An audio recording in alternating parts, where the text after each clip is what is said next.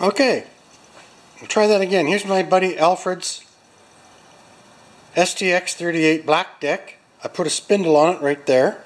There's the spindle. The John Deere spindle, which is probably very close to the same, was $260 and this one was $49.99. Okay, so they let's say one doesn't last 20 years. This is a 25 year old tractor that's got six years left in it, so it's a perfect repair as far as I know. Thanks for catching up on this one with me, guys.